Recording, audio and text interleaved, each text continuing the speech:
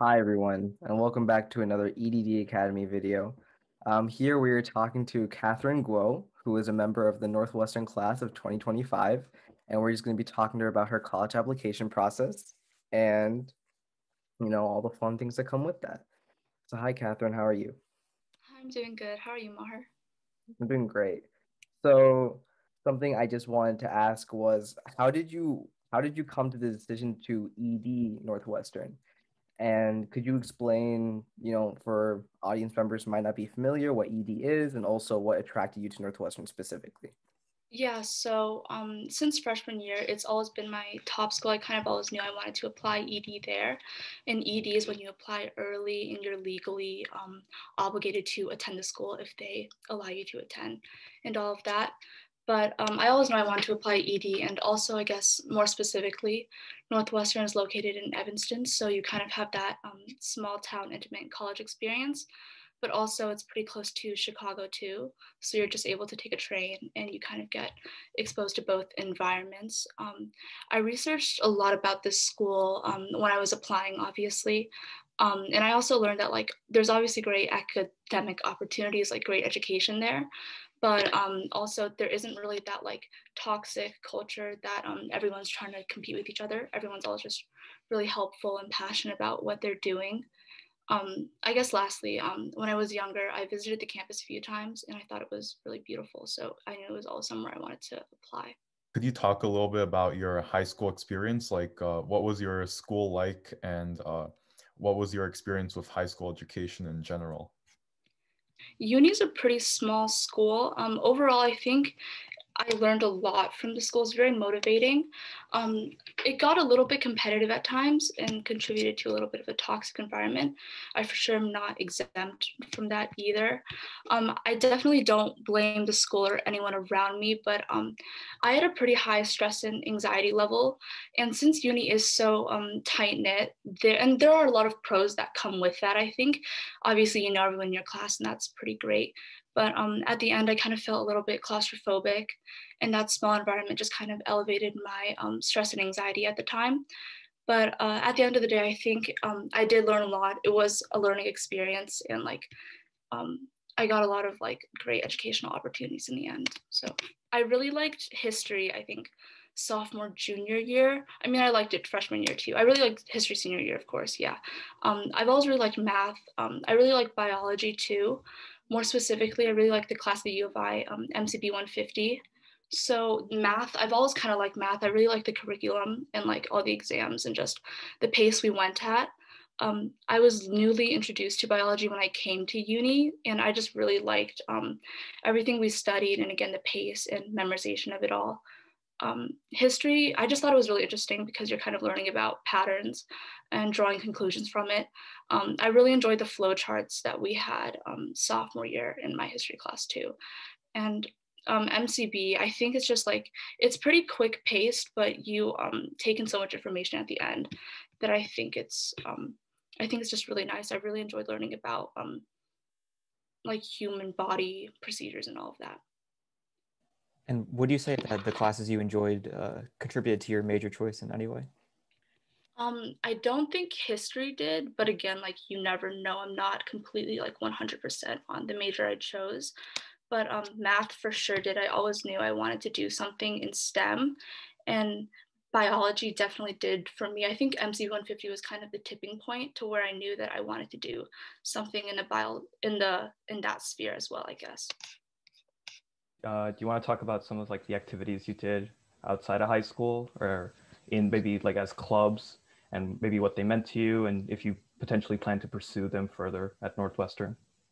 Yeah, sure. Um, EC. So I played tennis. That was like my main EC that I put down. Um, I play every day. Well, not anymore because of COVID and stuff, but I used to, and that was really important to me. I think at Northwestern, I'm probably gonna play club team if I can, or just at least like recreationally, of course. Um, and I guess um, in relation to that, I um, was a tennis instructor for two years now. So I put that down too. Um, and then I also created and am a leader of a tennis club that's co ed. And especially since we don't have a girls' team at uni, it just kind of gives opportunities for um, girls and boys of all different levels to play. And I thought that was really important. Um, and I this um, clubs too. I was a leader of Life Club, which is a religiously affiliated club. Um, I've been since freshman year, or no, I've been a member since freshman year, and then I just became a leader um, my junior year. So um, that was a club that was pretty important to me that I wanted to write more about. Um, I was also a leader of S4BW, which is kind of um, it's not a volunteer organization, but you kind of plan events for local organizations that raise money and just raise awareness for certain things.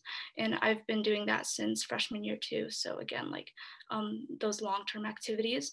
Um, I am an engineering major, so I obviously wanted to put some STEM stuff down um, one of the things was I worked with Illinois Geometry Lab and I kind of did a research project with them where um, I guess it was like we talked about game theory and biology and stuff, which was really nice because I got to learn more about what I wanted to do in the future. Um, I also learned Python from that and uh, I worked with, I think, a grad student. So I was really proud of what I did in the end. So I put that one down.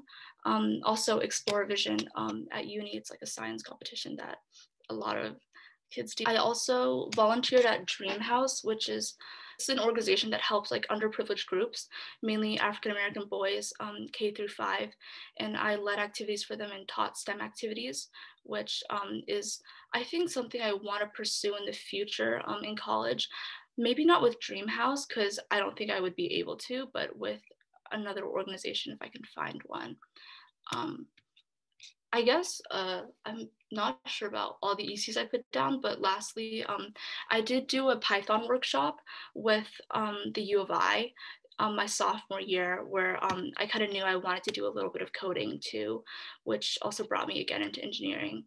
Um, I had additional ECs that I put on my additional info portion just because like there only are like eight slots and stuff. Um, I put SAT tutoring. Um, I did some other volunteer work at my church and I also helped develop a website recently. So uh, those are important things that kind of brought me to my major choice too. Okay, so in addition to MCB 150, which you already mentioned, uh, are there is there like any other advanced coursework or uh, extracurricular like studying that you did, such as AP tests or or a similar coursework? I've taken Stat 200 again, MCB 150. Right now, I'm taking CS 125 too. Um, and for APs, I've taken five in total, um, just to list them, I guess. AP Psychology, AP Macroeconomics, AP Microeconomics, um, AP Calculus AB, and uh, AP Chinese. And um, yeah, a lot of them were just my own interests, so they weren't classroom related. But um, AP Calculus AB was because um, the class I was taking at the time covered a lot of the same topics. Uh, but I think overall that was that. Thanks. If you feel okay, would you be fine like sharing your stats, like your GPA and your test scores? Yeah, that's fine. Um, SAT, I got a 1560 um, super scored, so um, 800 in math, 760 in reading. Do you guys care about essay scores? Because I know they don't offer that anymore. No. Okay. Um, GPA, I had a 3.97 or like, yeah, like 3.97, 3.96 something like that. So um, that's the stats. That's the main ones, I think. Um, I'm okay with sharing any other ones if you guys are interested. If you if you felt, did you take any subject tests? Yeah, I did, but I didn't submit any of the scores. And um, do you have any tips for people who are kind of deciding between the SAT and the ACT? I kind of knew I wanted to take the SAT just because I hated the science portion of the ACT like so much. I just couldn't do it, and the timing of the ACT too was just very weird. But um, I also just compared my practice portions for PSAT and PACT, and just compared my scores and how I felt from those two, which I think is always a good method. This next question is a little bit subjective. Obviously, you're not on the Northwestern admissions committee, but if you were to assess your own application for a second, what do you think would be, what would you pinpoint as your strongest factor on your application that you think made you stand out as a Northwestern applicant? Probably my essay. I think a lot of people say this, but like the essay really is like the most personal part of the application. It's an insight to your personality and what you want them to know about you. And personally, I wrote something um, very vulnerable for my essay and something I don't ever really talk about. So um, yeah, definitely the essay. I guess my Northwestern essay, I'll just talk about that one. Um, I put a lot of, I think that was the essay I put the most time into, but it's kind of just a YS essay. It's 300 words, so it's very short. But um, I just talked about um, things very specific to Northwestern. I think it's always a good rule not to reuse anything for YS essays because you have to be extremely school specific. But um, things that were only specific at Northwestern and things like engineering related, of course. Um, and also, I guess, I don't know if I'm going to explain this correctly, but it's like you're listing something school specific, but you're also talking about a thing that um, shows your values and what is important to you. So um, I guess an example is I talked about um, how I wanted to join an organization that um, helped women in engineering. And then I kind of followed that up with um, how being a woman in STEM is like an issue that is that I've grown to care more about and is an issue that I wanted to try to bring more exposure to in the future. Are there any supplementals other than Northwestern that you really enjoyed writing or that you think you did a really good job on? Yeah, um, I really like the USC prompt. Uh, it was, I think it was for engineering students, but it was like choose one trait um, you think you have that other engineers possess, and choose one trait you think you have that other that other engineers do not possess. And I had a lot of fun writing that one. Um, also, I think all the UC prompts were honestly very fun. There are a lot of them, but um, yeah, they're really well worded. So they're very open ended. Um, I think I really like the UC prompt about how you express your creative side. You're going to major in bioengineering for a pre dental track? Yeah, um, so like pre med is kind of an add on that you can do. Mm-hmm. Um, I'm thinking after undergrad for bio E, um, I want to pursue dental school. Is that's kind of where the pre med or pre dental track comes from. So you touched on it earlier with like your courses kind of influencing that choice. But was there anything else that kind of made you want to pursue, you know, bioengineering specifically? And kind of what was that process like for you narrowing down majors and saying this is the one I want to do? Yeah, so um, I guess going into the college process, I like had no idea what I wanted to major in. I knew I wanted to do something in STEM.